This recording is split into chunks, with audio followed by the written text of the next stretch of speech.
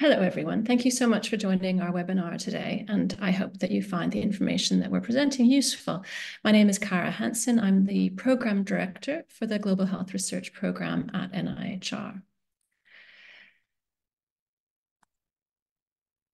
The, um, the NIHR was established in 2006 um, to be the main kind of research and innovation arm of the United Kingdom's Department of Health and Social Care.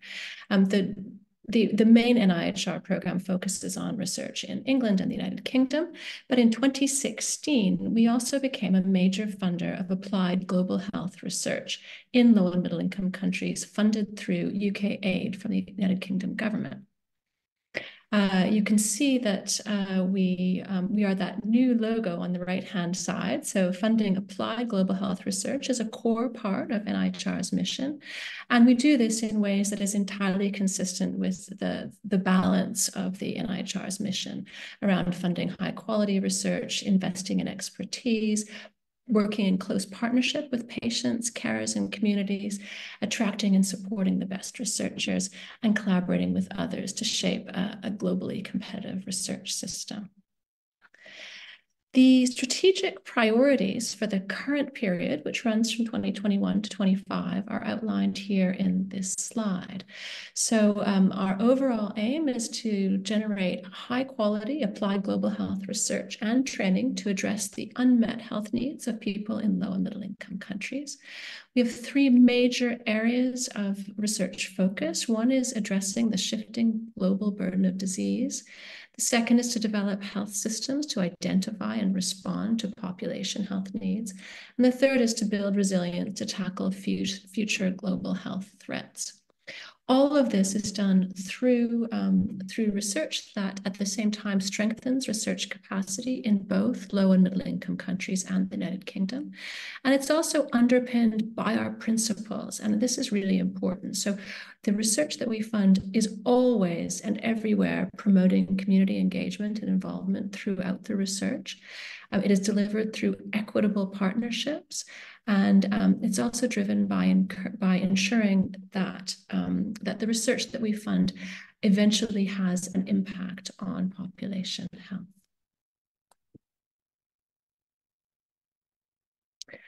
Earlier this year, we refreshed our global health research portfolio uh, with the explicit aim of enhancing clarity, predictability, and equity. So by clarity, um, this means that we have um, we have uh, developed a couple of new programs that combine some of our older funding streams. And in particular, we have a new, um, a new combined global health uh, policies and systems call and a researcher-led call that combines the old groups and units programs. And through these, um, these mergers of old programs, we hope to be able to support researchers to find the program that best suits their research question, their experience, and their ambition. All global health research programs, with the exception of global health research centers, will now run on an annual cycle at the same time every year. And this should make it easier for researchers to plan ahead and develop their, um, their applications uh, and I think this is this is really important also for research quality. So if you get to you know a month or two from the deadline and you think that my proposal isn't really quite fully baked, you can rest easy that there um, there should be another call at the same next year, same time next year, so that you can work it up um, in more detail and increase your chances of success. We've also significantly adapted the leadership model so that more researchers from low and middle income countries can access global health research funding. So in our early days, it was always necessary to have a UK lead or co-lead. From now onwards, none of our global health research projects require a UK lead. And I'll describe that partnership model in a little bit more detail shortly. So this is what our new portfolio looks like. We have basically two different types of funding, those that fall in the category of researcher-led. So um, this is where researchers come up with the topics in collaboration, close collaboration with policymakers and program managers in their countries, um, but develop the topic um, uh, themselves. And then we have our strategic or thematic, as in the bottom bands, calls where there is a, a themed call that we invite researchers to respond to. So amongst our researcher-led streams, we have um, our development awards, which run once a year now and are, uh, are um, available to low and middle income country researchers and research teams for money to develop a high quality proposal for one of our larger schemes. We have our flagship professorships awards. This is to support outstanding academics who are at the professorial level to develop their team and develop a high quality research program of global relevance.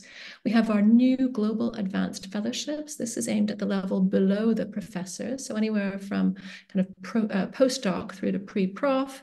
And these are individual awards as well, fellowships. And then we have the program that we're going to talk about today, which is our researcher-led pro program. In the thematic awards, we have our global um, health research centers. These have only run once so far on a specific theme. We have our health policy and systems research stream, and then we have RIGHT, uh, which is our research on interventions for global health transformation. And every year that runs with a specific thematic call. Mm -hmm. So up till now, we have developed a, a, large and significant portfolio of funded research that involves more than 300 different institutions that works in more than 50 countries and has um, provided more than a thousand low and middle income country researchers support to progress their careers. So one thing that is new with this new researcher-led program is that um, it is presented in terms of three different funding bands. So the idea here is that there will be annual regular um, calls for proposals, that these are researcher led. This means that you can apply for funding for research topics of your choice where you can justify that these have been identified in collaboration with local stakeholders. And this award now runs um, with three bands of funding available. So you can choose the band that best meets your research experience and ambition. Um, and then finally, that there's a, a flexible leadership model um, that should support equitable partnerships. So uh, research funding band one is the largest. This is for, um, for established research partnerships and experienced teams. It is particularly for ambitious, broad, large, significant programs of research and capacity strengthening. Band two is the middle band. It's at a lower funding level. And this is for either for developing or less mature partnerships that have varying levels of experience, um, but also where people are proposing a, a new program of research, extending existing research and or including more LMIC settings than in previous than in previous research. Finally, research band three is our smallest, lowest band. This is directed at new partnerships, less experienced teams, or for projects that are at an, an earlier or developmental stage with a higher degree of risk. So this table outlines the requirements across the three funding bands. So you can see down the vertical axis, we have the band one, two, and three, and you can see the funding ranges attached to each funding band. So band one is between four and seven million pounds.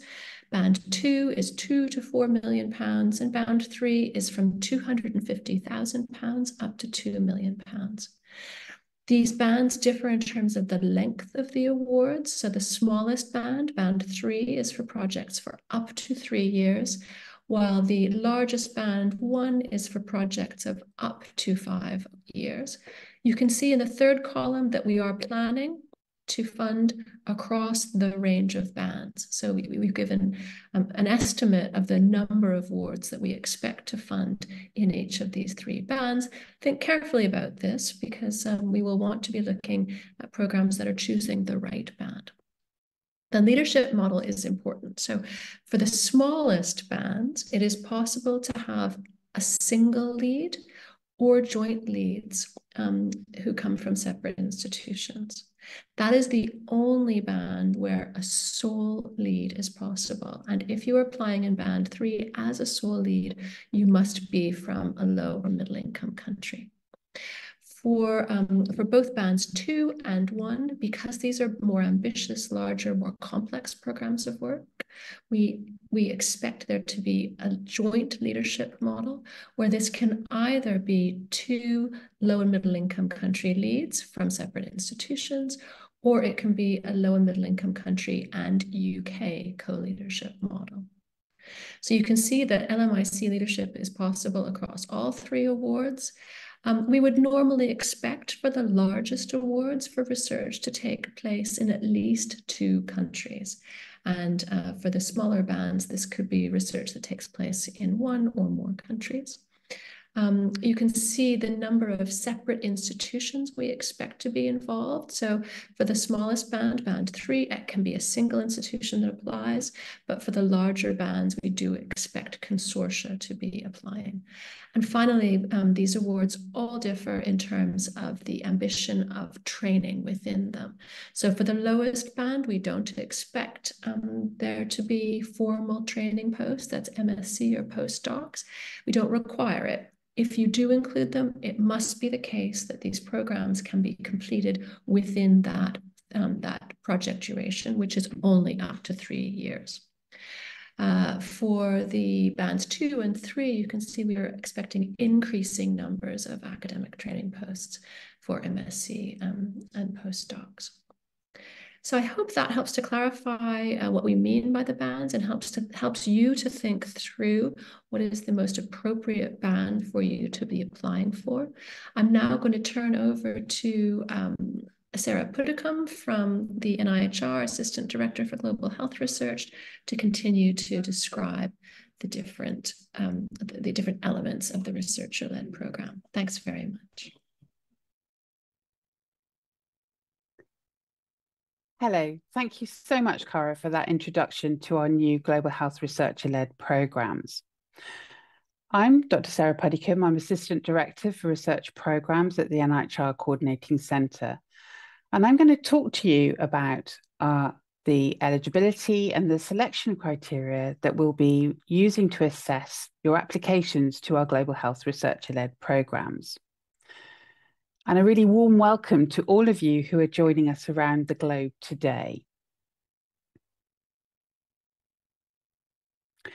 I'm going to start with uh, our researcher-led leadership model. Now, as Kara has explained, we have three funding bands. And if you're applying in our band three, then we are, you are eligible to apply as a sole lead if you're employed in an eligible LMIC institution. However, please note that we do not accept sole leads from UK institutions. However, across all of our bands from band one to band three, we do encourage and um, uh, for you applying as joint leads. Now, we expect that one of you must be employed by an eligible uh, LMIC institution. And then you have the choice as to whether the other joint lead is employed by a different eligible LMIC institution or, or an eligible UK institution. Please be aware that if you're a UK applicant planning to apply, you can only apply in equitable partnerships with an LMIC joint lead organisation.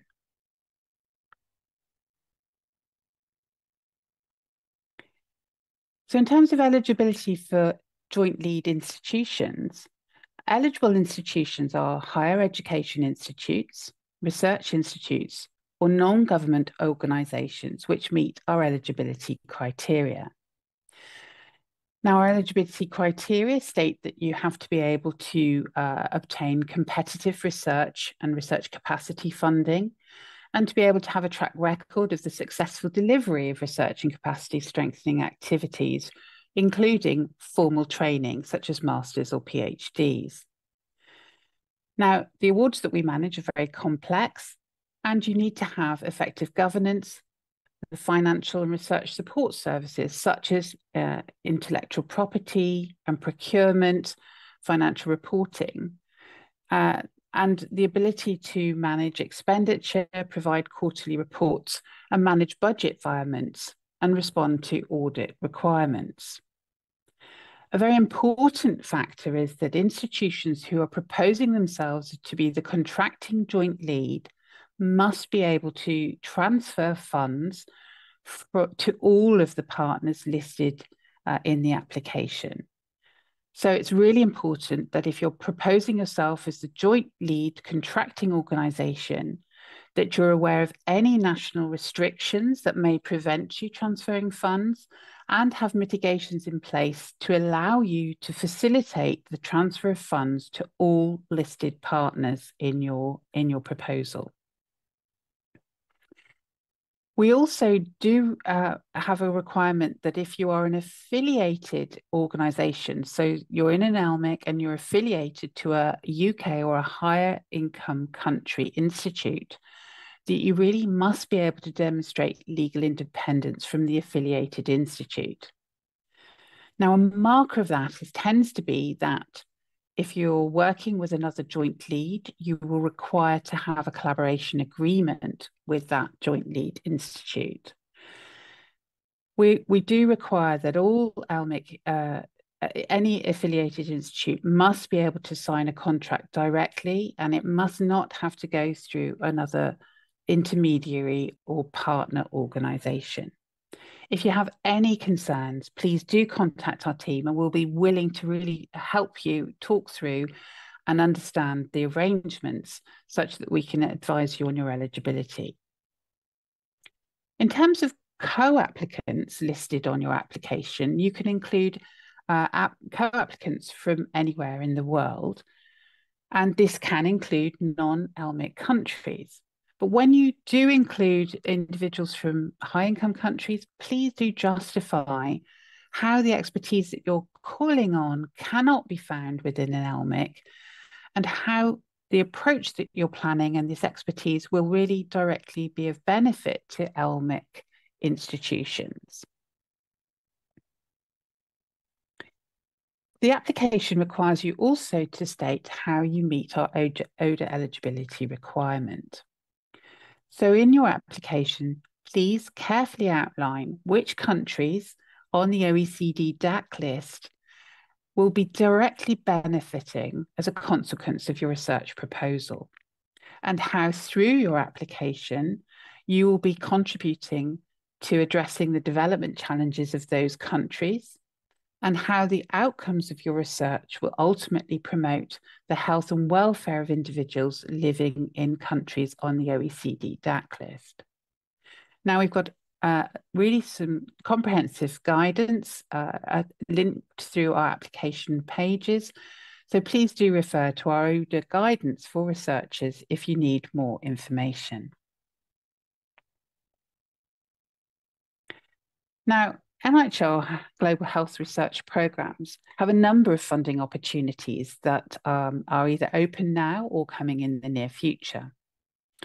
If you're planning to apply, um, then please do be aware that we have a research on interventions for global health transformation or RIGHT Call 8, which is specifically focused on addressing the global burden of unintentional injuries and accidents. Now, that includes things such as falls, drowning, burns, poisoning, environmental heat, and cold exposure in road traffic accidents. And that call is currently open now. If you're planning on applying to the researcher led call in this direct theme with a major focus on accidents and injuries, then I would recommend that you reconsider and look at our RIGHT Call 8. If you're also planning to apply with a major focus on health policy and systems research, uh, that's research which is thinking about strengthening health services policies and in the understanding and effectiveness of health systems in low middle income countries, then I recommend you reconsider and think about applying to our next call, which will be opening in spring of 2025. That said, if you're planning to put in a research proposal that has an element of accidents and injuries or an element of health policy and systems research, then you would be eligible to apply to our researcher led call, which is open now. If you're not sure, again, please do talk to us. The team are really willing to help to advise you. And if you do uh, submit a call, submit to our call, and we then look at it and think that actually your application would be better suited to another call, then we will reserve the right to transfer your application to that uh, to that other call. If you're thinking about submitting multiple applications, then it really is worth taking note of the fact that NIHR will not accept the same or substantially similar applications being submitted in parallel to different uh, global health calls.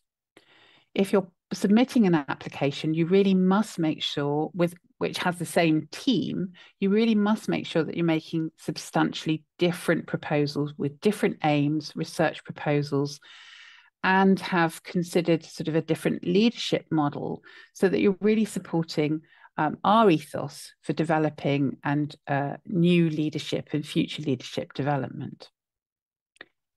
If you're thinking as a research institute of submitting multiple applications to this researcher-led program call, then please be advised that any one individual should only be named once as a joint or a sole lead on an application. That doesn't preclude that individual from being a co-applicant on any other application to this funding opportunity. Now, higher education institutes and research institutes can submit more than one application to this call, but each application has to be different in its, of its aims and objectives, should have a different joint or sole lead, and do please be aware that we will not intend to fund more than three uh, awards per joint or sole lead institute. And if you're submitting multiple applications, think about the diversity in the leadership model. Um, think about the gender balance of the leaders that you're proposing across your as joint leads across your proposal from any one institute and ensure that you're you're looking at that equity and balance in terms of gender. So I'm now going to run through, I've talked through the eligibility criteria and I'm going to run through the selection criteria that we use for stage one for the shortlisting uh, of the proposals that are submitted. We will be looking through with the committee's uh, advice at the relevance of the research of the research being proposed, of the research quality and its excellence, looking at the strength of the research team that's being proposed, and ultimately at the potential impact and sustainability of that research. Now, I'm going to run through in a little bit more detail about our expectations for each of these criteria. So, in terms of one, the relevance of the proposed research, really want you to think about how you can demonstrate to the committee that that research has been designed with LMIC partners from the very outset and has really been based on a, a, robust review of the local context and health systems and of the existing literature so that it's really set within the context the research is uh, in the country that research is, uh, is based within. Please ensure that you demonstrate to the committee how the research will intend to fill a significant gap or address an, a significant unmet health need or priority within the ODA eligible countries of concern, and that you have met and will fully align with the scope of our call. It's really also an important aspect to think about how you will be enabling individuals and research institutes through both the research and the research capacity strengthening elements to produce relevant, high quality ev evidence that can address the unmet needs in those, those countries that you're specifying. And it's really important that when you're doing that, that you've thought about engaging with the communities and the most vulnerable and marginalized uh, members of the, the population within the local context to ensure that you're addressing their needs and urgent priorities. In terms of our second criteria, when we're looking at research quality and excellence, we really are looking through the committee uh, to ensure that the research plan is robust and has very clear questions, objectives, and is soundly designed. Now, when you're writing your proposal, you may not have the fully detailed methodological approach that you intend to use, but wherever possible, give as much detail on the methodology as you can and on the approach that you will be planning to take so that you can reassure the committee that the research that you're proposing will ultimately adequately address the questions and meet the planned objectives. It's, it's really helpful to make sure that you include clear milestones and that you think through and articulate that you've identified and mitigated key risks and ethical considerations related to your research. The, the committee will also be looking for having appropriate plans and resources in place across the team. These are complex awards, so we are looking for a robust program uh, management, uh, robust governance, and clear support from the institution uh, in terms of the contract management, the financial management, and the reporting. So don't skimp on the resources that you feel you need to deliver these complex programs. It's really important that you've thought about things like your community engagement and your program management across the partners to ensure that you can meet uh, the needs for this type of complex research award. Uh, the third criteria is the strength of the research team. And so it's really uh, key that you think about having an appropriate range and depth of relevant expertise. And we're really looking to have, make sure that you've got a really robust interdisciplinary way of working that will be able to uh, deliver on the methods and the approaches that you're planning to use. And if you're if you're supporting more junior members of uh, of the team, whether as a lead applicant or as a workstream lead, that there are appropriate mentoring arrangements in place to help support those less experienced researchers. Do you, however, think about the number of partners that you're managing because that adds to additional complexity, and um, that you have sufficient funds available to support the, the partners so that they make a meaningful contribution and that you're really leveraging the expertise in your LMIC partners to the best possible uh, to, to, to, the best possible means. Uh, and do please think about ensuring that you have appropriate community engagement, monitoring evaluation, social science and health economic expertise within the team as relevant to your research proposal. The fourth criteria is impact and sustainability. And the committee here will be looking for a real clear potential that the research outputs that you're producing will ultimately improve practice and inform policy. And we really want to, to know that those findings will be disseminated and support the future implementation and the future sustainability of the research and the partnerships in those LMIC countries beyond the end of the award.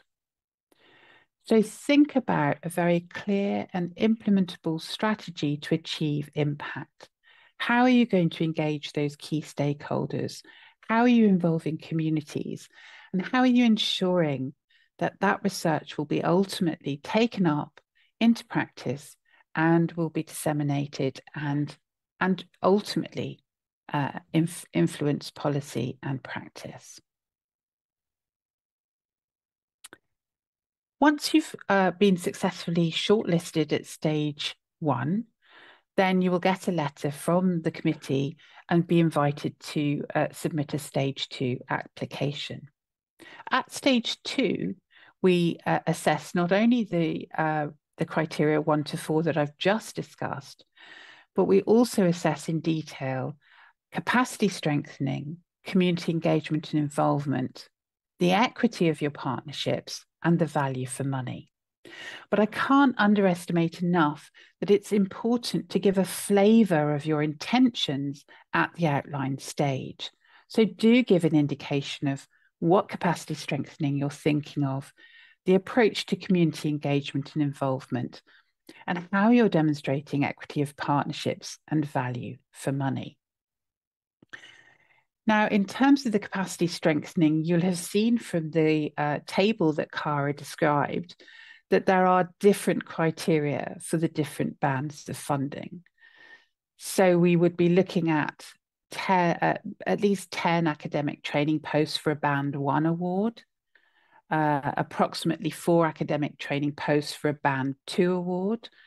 And it's optional as to whether you include capacity strengthening in, um, in your band three award. But any uh, formal training that you intend to do should be completed within the lifetime of the award that you're proposing. If you're thinking about community engagement, we strongly recommend you think about engaging with vulnerable and marginalized groups and ensure that relevant breadth of engagement to include policymakers, communities, patients and the public, the NGOs and civil society and charities, so that you really are engaging with uh, the communities where the research most matters and that can help uh, with the dissemination in impact of that of that research. In terms of the equity of the partnerships, uh, then I, I really strongly recommend that you think about ensuring um, the balance of the research includes, you know, equity in terms of the leadership, equity in terms of the government governance of that research, in, the distribution of the funds, thinking about the ethics, the data, uh, the intellectual property, and the dissemination of the findings. We really are looking for partnerships really having a strong underpinning research ethic involving mutual respect, understanding for different cultural, ethnic, social, and economic beliefs and practices, and that you can articulate that in your award. And then finally, in terms of the value for money, um, we do expect that um, you will show some benefit in terms of the um, the efficiency, the effectiveness uh, of the research, um, the economy, and the equity, please. I think a, a, final comment on the equity of the partnerships that I haven't mentioned already is that we do expect the balance of the funding to go where the majority of, the work is taking place and that you are really maximizing the expertise that exists in low middle income country partners uh, in terms of their management and leadership of, of the awards. We also uh, then expect um, there's a range of different um, bands of funding that you can apply for from band one, which is the highest, which it goes up to 7 million for a period of five years, down to the lowest of about £250,000 for up to three years at a band three award. When you're submitting and thinking about your finance, we only require an overall cost in your stage one application. Now, uh, we appreciate that it takes some effort and time to be able to consider that overall cost.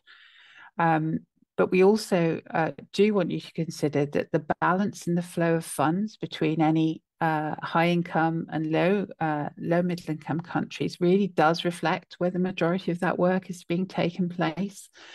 We largely expect that that will be within the LMICs. But we do appreciate that that is not always the case and that there are some good justifications for why funding may need to flow through other partners for the direct benefit of the low and middle income country partners. So if you're if that is the case, please please just justify how that funding will benefit the LMICs ultimately. Um, and just as a word of um, uh, reminder, please think that you can uh, include a responsive line to address the emerging needs um, within your award of up to 5% of the total budget. You can also think about uh, additional methodological uh, requirements that might support your award of a similar uh, amount of up to 5% of the total budget. But please do refer to our finance guidance for further details. And if you have particular questions pertinent to your individual awards, then do please contact us and we can give you further advice. So if you're curious about what other awards the NIHR have funded in this space, then we do have a website where we uh, publish details on all of the awards that we funded, those that have completed and those that are active.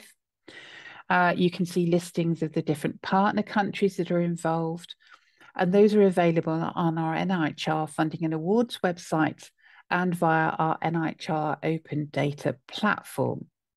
So if you'd like to see more information on the types of awards we funded and where they're based, and uh, potentially even if you're looking for other research partners and you want to connect up with people who are already funded and working on our awards, then please do go through this website, these websites, uh, to, to try and connect up as you see fit and to understand some of the research that we fund. So that's really wrapped up uh, the sort of eligibility and the selection criteria. And I'm going to now be handing over to Dr. Ruchi Baxi, who's going to talk to you about what makes a really good stage one application. So thank you very much. And I wish you all the very best in your application. And I will be handing over to Ruchi uh, now. Thank you.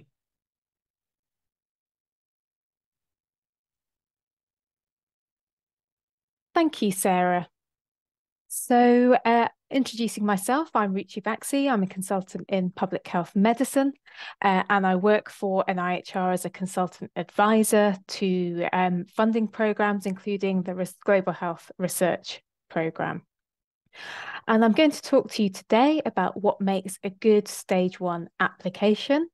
And these, the content of this part of the webinar is based on observations by myself and my colleagues um, who, as consultant advisors, um, sit on funding committees as non-voting members. So we have the opportunity to view the discussion and deliberations that take place, uh, and we've pulled out some, some key themes here. So a quick reminder of the application process, but I won't dwell on this too much uh, to save time for the rest of the content. Um, this is a two-stage application process, of course, with the stage one application being assessed by the stage, stage one committee. And those um, applications that go ahead um, likely to have um, feedback to address where they do go ahead uh, and a longer application form with more criteria as outlined by Sarah for the stage two application, which is then again assessed by the committee. So I'm going to talk to you in three parts um, today. So the first part is discussing selling the idea um, for the application. Then, secondly, selling the methodology. And then finally, thinking about some common challenges that arise. So, coming to that first part around selling the idea, it's important to really show why this research is needed and why now. And um, so, so doing that sales pitch around the importance of the research and justifying that with evidence so anything that's claimed here needs to be backed up by literature or other work that justifies why you've chosen to do this research. And that research should be locally grounded. So considering how the research um, um, would benefit people in that setting um, and and indeed whether it can provide wider benefits. So it should the you know be a local priority to address those research questions with a clear pathway to, to those benefits, alongside discussing whether findings may be applicable to other settings, other low middle income country contexts, or indeed high income country contexts as well. And as part of that sales pitch, it's also um, important to outline why your team is the best team to undertake this research. So demonstrating how the team as a whole has the has a breadth of expertise and skills required to undertake the research uh, across all of the various components that may be involved. So while in that first slide, I discussed selling the importance of the research and the credibility of the team to deliver the research it's also important to do this in a balanced way, uh, in an evidence based way, and avoid overstatements. So, overclaiming what the team will be able to do or making the research sound over important, as given the committee will be aware of the, the complexity and plethora of, of issues that are um, health issues that are um, need to be addressed in, in any particular context um, is also to be avoided. So having a, that balanced approach um, to developing that um, story around the importance of the research and ensuring that you've done enough work including reading so that the, and that's demonstrated in the application so it's visible to the committee um, and that you have show you have an awareness of what else is going on in the field. So so not leaving out other important research that's taken place that's of relevance or work that is ongoing um, that relates to to the topic that your um, application and research is looking to address. Um, and if there are big um, gaps or oversights, that's the sort of thing that the committee will will note, um, uh, and uh, it can undermine the credibility, uh, appearance, credibility of the team. Um, and awareness and engagement of the team with the wider work that's going on in the field. So thinking now about the next part and selling the methodology, the methodology um, of the research is, is, is scrutinized as an important part of the application process. So, so outlining how are you going to undertake the research? And, and the committee does recognize that the methodology for all aspects um, won't be fully set at this stage necessarily, um, that um, there may be other important um, pieces of work that need to be done, for example, community engagement work or the sequential um, work within the research that builds um, that where the methodology builds on what's happened before. But what needs to be evident is and, and convincing is that there's a clear plan for doing the research and how the methodology will be developed further as that um, progresses.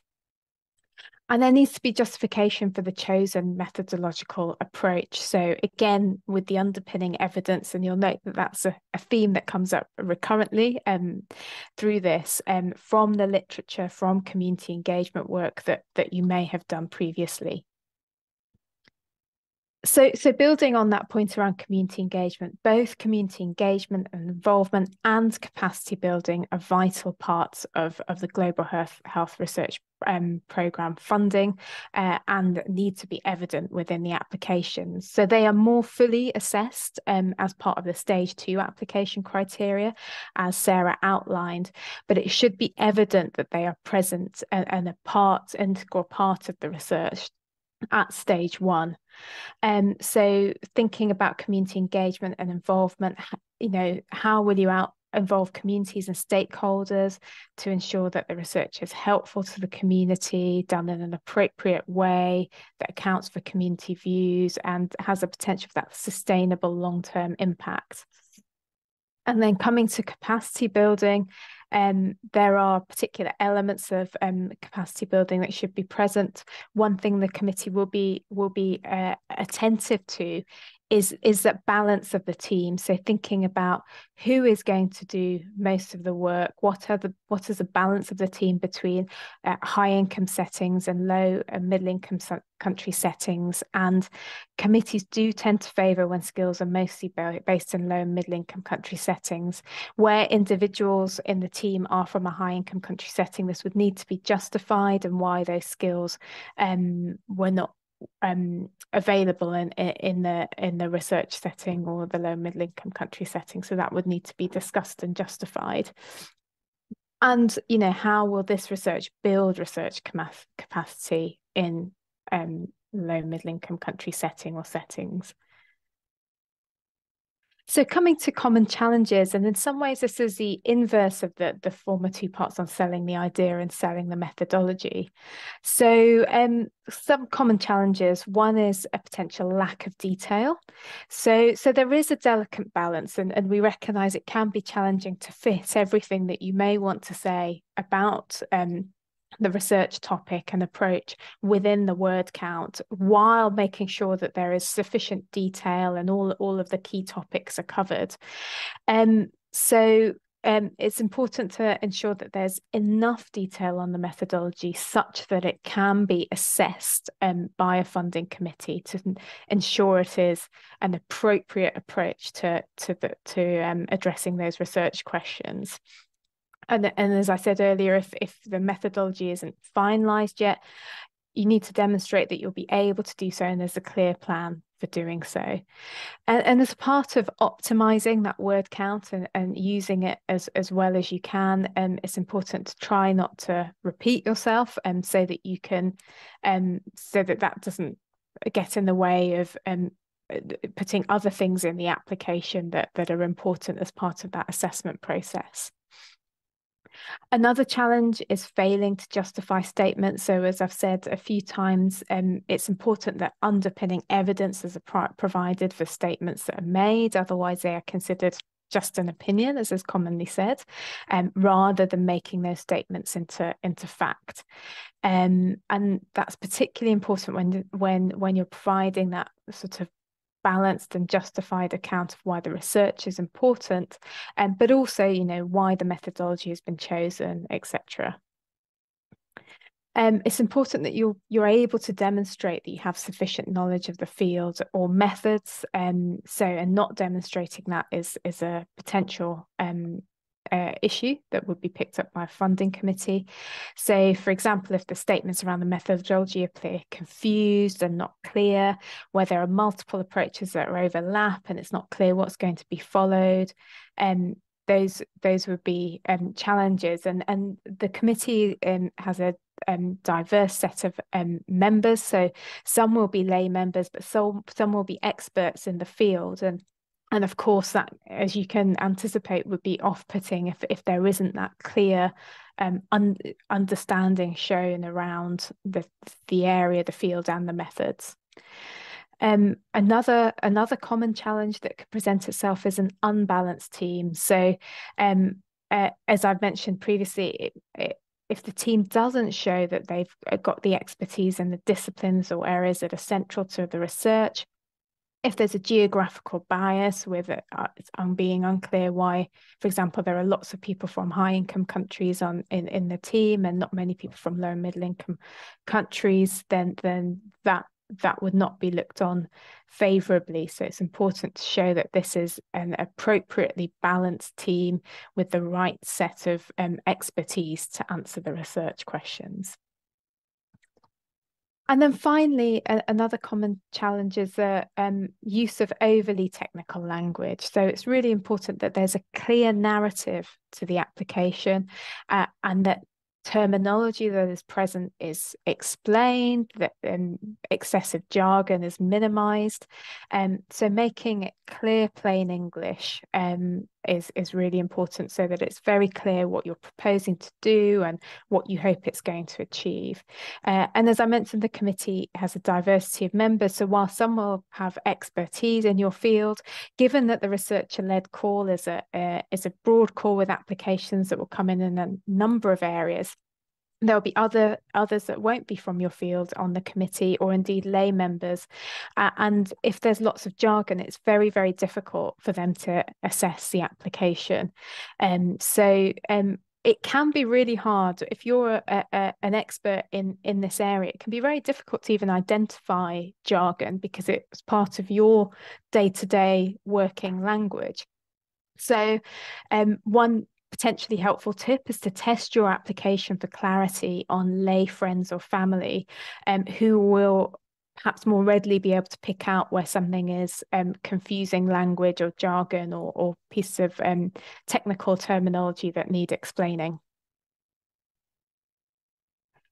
So um, I hope that was helpful. I'm now going to hand over to Faye Havens, who's going to talk more about the application process.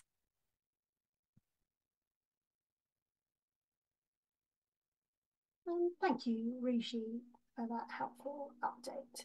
So I'm going to talk through now uh, some of the uh, application processes and give you some hints and tips So my name's Faye Havens. I'm a Senior Research Manager at the NIHR Coordinating Centre and it's myself and my team that will be helping you complete your applications and get everything done in the system. So, um, as has already been mentioned, uh, the Global Health Research-led funding opportunity will be a two-stage application process. Now, stage one is a shorter outline of your proposed research plan, and Rishi has done a great job explaining on how we ensure that this has all the information that we require. Um, and so this is to give you a bit of information of how your application will be assessed. So first of all, we undertake remit and eligibility checks, and these are carried out to ensure that your applications meet the criteria set out within the guidance and it's eligible for the researcher-led opportunity. We also look at the eligibility of your contracting organisation, so please ensure you have checked this against the published criteria. All applications will also undergo a triage process, and this is carried out by a subset of the funding committee, and it manages the very high numbers of applications that we receive. Uh, we expect this first researcher-led funding opportunity to be particularly large, uh, but to reassure anyone that all applications that are declined at triage, triage will receive feedback. If you make it through the triage stage, you will have a review by the stage one funding committee and applications will be discussed to decide which ones are taken forward to stage two. And as mentioned, all applications that are declined or shortlisted to stage two will receive feedback. If you are declined, uh, this, is, this feedback is designed to be constructive and help you with your future applications and if you are shortlisted, this will be things that you need to consider to include within your stage two application. Once submitted, stage two applications undergo further external peer review and applicants are given an opportunity to respond to the comments given by those reviewers uh, before their applications are seen by the stage two funding committee. So this slide gives a bit of a more visual guide as to what happens to your applications and when. So obviously the funding committee, the funding committee, the funding opportunity is already open and we are having uh, the briefing event here today. So the next milestone is the call deadline on the 6th of November. All research-led funding opportunities close at 1pm and that is 1pm UK time.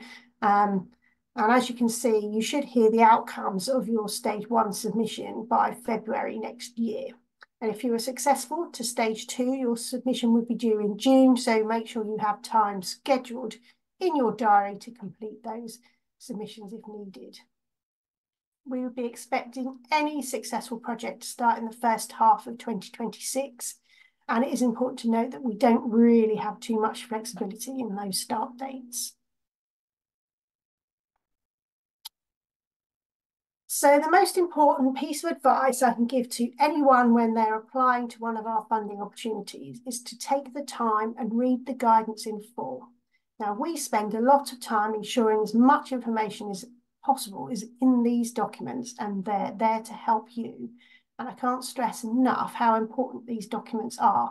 So make sure you read the guidance and you will hear me say that a lot uh, there are, uh, we understand, a lot of documents to read and it will take you a bit of time. So I'm going to break down what guidance we have and what it will tell you. So we have our remit guidance, which is specific for this funding opportunity, and it will give you the scope, eligibility and selection criteria and set out the timelines. We have the core guidance, which applies to all global health uh, funding opportunities run by NIHR. And we aim to keep this regularly updated. So even if you have read it before, it's worth taking another look to make sure nothing has changed. There is application form guidance, and these tell you what to put in what section of the form and how to complete the form within rounds. As this system is reasonably new, some of you might not have used it yet, so we hope that the instructions will help you navigate your way through. Uh, there's finance guidance, which will help you complete your full finance breakdown at stage two. But it is important at stage one because we expect your figures that you are be entering at stage one to be realistic, include and include everything that you would expect to include. and committees don't expect to see a huge change in costs between stages one and two. We also supply a Word version of the application form so you can see what information you need to include and things like character counts and section headings without having to log into the system. It's important to note though that this form is provided as a guide only and cannot be submitted. Only applications received through realms will be considered. Now this slide and these uh, slides will be circulated after this uh, briefing event gives an overview of where you can find information within the different guidance documents. Um, so I'm not going to go through it, but it'd be more helpful when you have the slides after the event. But for example, if you wanted to look at uh, where do I find information about my research contracts and uh, IP, that would be in the core guidance as is shown here. So I, as I've already mentioned, you must submit your application via Realms. And Realms will close at 1 p.m. and that is 1 p.m. UK time, don't forget. Late applications will not be accepted. And if you're experiencing issues using Realms or you're having other technical problems, you must let us know in good time. It's not possible for us to be able to help you two minutes before the deadline, so please don't leave it to the last minute to submit. At stage one, you are able to include limited uploads. The only mandatory upload is your references, which is limited to a single page. Um, and you can include a single supporting document, which could be something like a flow diagram, a letter of support, or maybe a response to previously received feedback, if this is a resubmission, or if you're an existing or previous NIHR Global Health Research Award holder, you could also include a letter of support which highlights what that award has achieved and how that has benefited the end user of the research.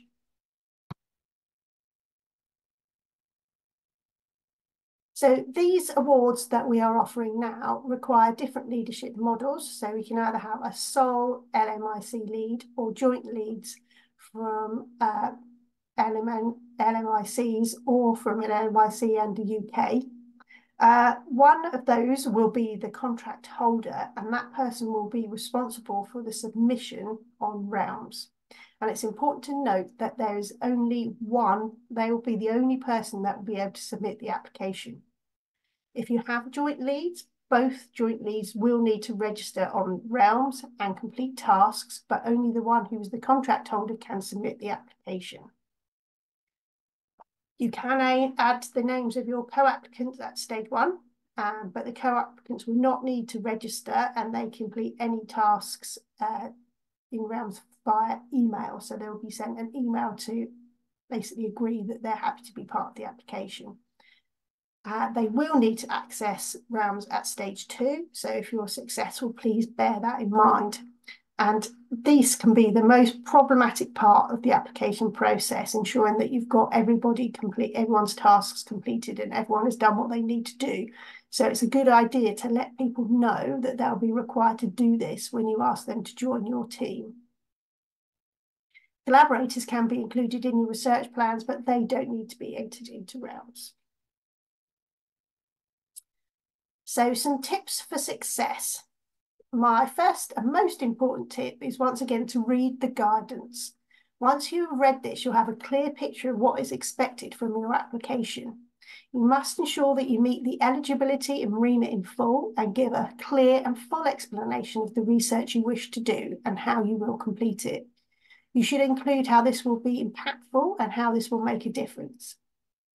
Make it clear how you've worked with your whole team, how you've engaged the joint lead and the co-applicants, and what impact the local community voices have had. Make sure that you've engaged people like finance and your institution to ensure that you've got the right support and infrastructure in place. It's important to note that stage one applications are short, so be mindful of the space that you have and make your application concise and to the point.